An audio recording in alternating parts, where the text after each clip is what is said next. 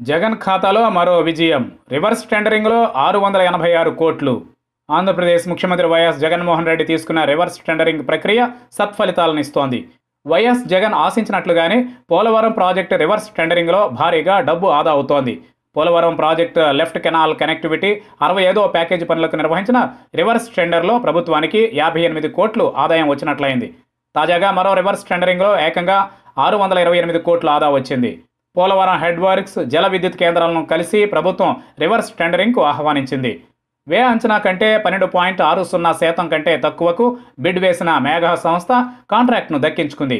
వ్యయ అంచనా నాలుగు వేల తొమ్మిది వందల ఎనభై ఏడు కోట్లు కాగా మేఘా కంపెనీ నాలుగు వేల మూడు వందల యాభై ఎనిమిది కోట్లకు బిడ్ దాఖలు చేసింది. దాంతో మేఘా కంపెనీ ఈ టెండర్ను దక్కించుకున్నట్లయింది. ఈ ప్రక్రియలో ఏపీ ప్రభుత్వానికి ఆరు వందల ఇరవై ఎనిమిది కోట్ల మేర ఆదా చేకూరినట్లయింది.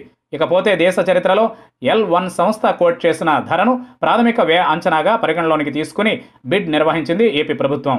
ఇకపోతే పోలవరం ప్రాజెక్టు రివర్స్ టెండరింగ్లో భాగంగా ప్రస్తుత టెండర్ను సీఎం వైఎస్ జగన్ క్యాన్సిల్ చేశారు. అనంతరం రివర్స్ టెండరింగ్లో భాగంగా టెండర్కు ఆహ్వానించారు. ఇకపోతే టెండర్ రద్దు చేయడంపై నవయుగ కంపెనీ హైకోర్టును ఆశ్రయించింది. తమ పోలవరం జల విద్యుత్ టెండర్ రద్దు చేయడంపై ప్రభుత్వ తీరును తప్పుబడుతూ హైకోర్టులో పిటిషన్ దాఖలు చేసింది.